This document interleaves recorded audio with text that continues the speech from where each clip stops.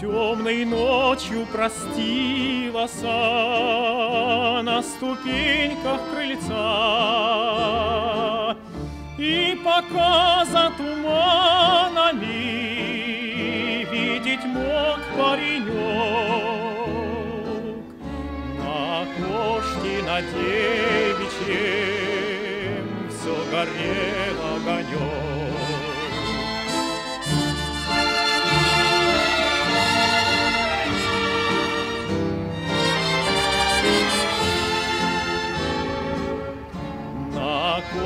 окошке на девичьем все горел огонек.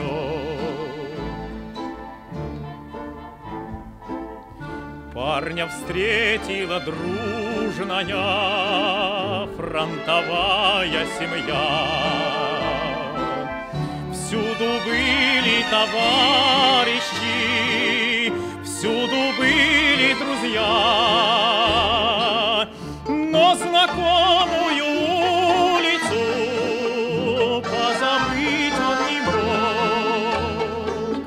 Где ж ты, девушка милая, где ж ты мой огонек?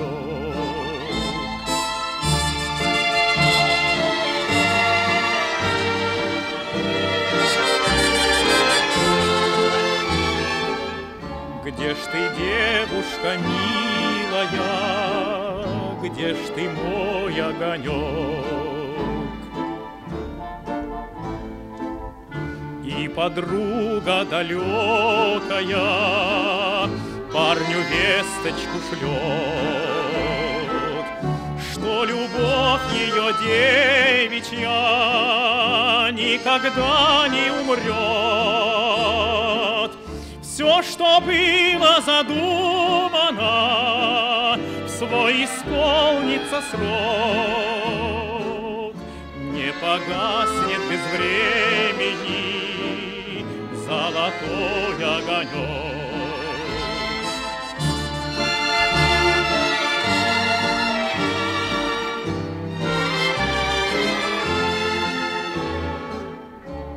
Погаснет без времени золотой огонек.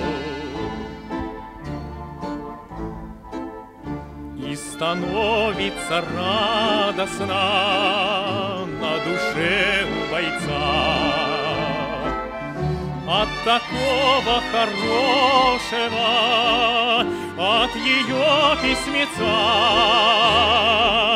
И врага ненавистного крепче бьет паренек за советскую родину, за родной огонек. И врага ненавистного крепче бьет паренек за советскую родину, за родной огонек.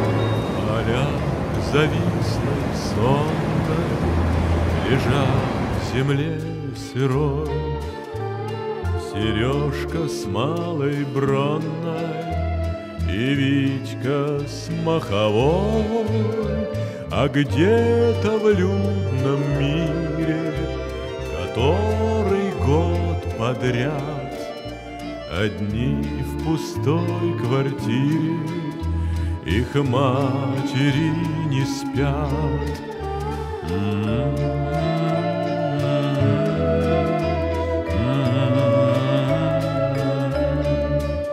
Свет лампы воспаленной Пылает над Москвой.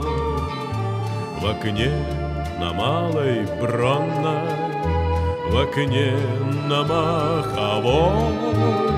Друзьям не встать В округе. Без них идет кино.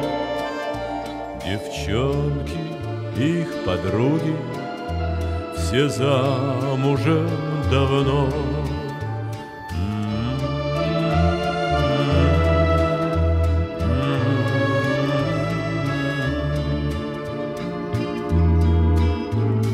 полях завислой сонной Лежат в земле сырой. Сережка с малой бронной И Витька с маховой. Но помнит мир спасенный Мир вечный, мир живой. Сережку с малой бронной и Витьку с маховой, Сережку с малой бронной и Витьку с маховой.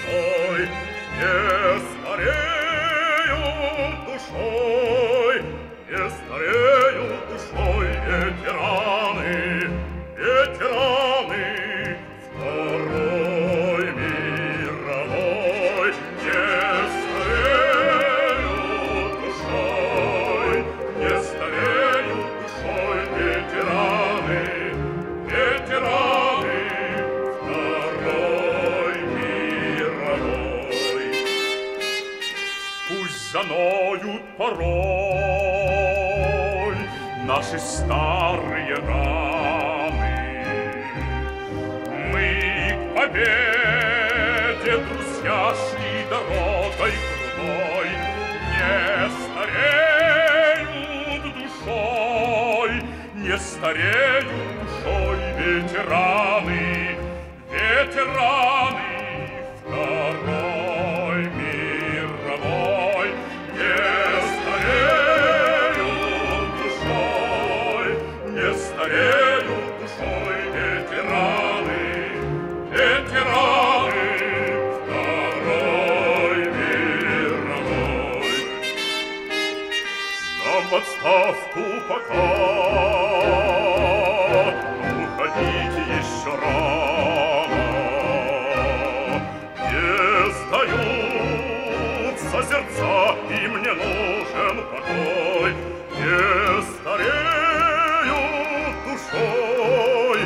стареют душой, ветераны, ветераны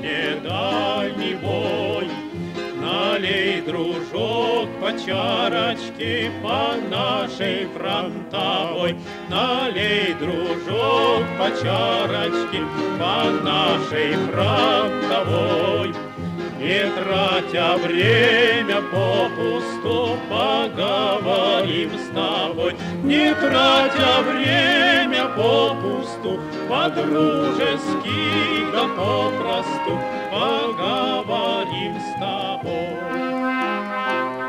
Давно мы дома не были, цветет родная ель, как будто в сказке не были за три девять земель, как будто в сказке не были за три девять земель. На ней иголки новые, медовые на ней, на ней иголки новые, а шишки все еловые, медовые на ней. Где елки осыпаются, где елочки стоят, Который год красавицы гуляют без ребят. Зачем им зорьки ранние, коль парни на войне?